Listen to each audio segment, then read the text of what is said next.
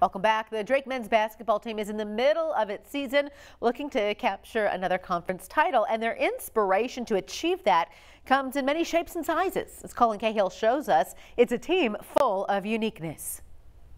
I mean, he's maybe the most unique player I've, I've coached in 23 years. Senior point guard Garrett Sturtz isn't your typical style of a point guard for the Drake Bulldogs. I would probably describe myself as unique too. Standing at just six foot three, the senior guard is third in the league for rebounds a game. Barely jumps over a phone book, um, so it's uh, it's pretty impressive. You know, he's got just uh, a knack uh, for the ball. You know, it just um, or he's extremely lucky. Hard work can make luck go your way sometimes. Sturtz was named to the All Bench and All Scholar athlete teams in 2020 when he averaged just over eight points a game. This year, he's second on the team in points per game and leads the team in rebounds.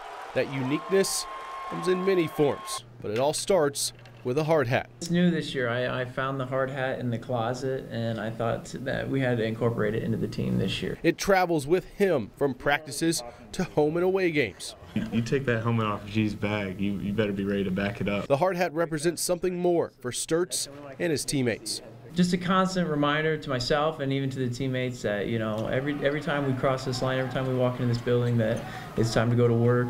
Um, it doesn't matter how you feel, feel great or feel bad, we're here to work and get better as a unit. The Bulldogs are looking for that hard work to pay off come March.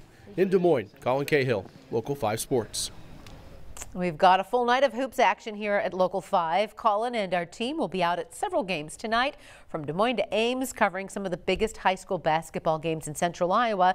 So tune in tonight at 10 to catch all the action.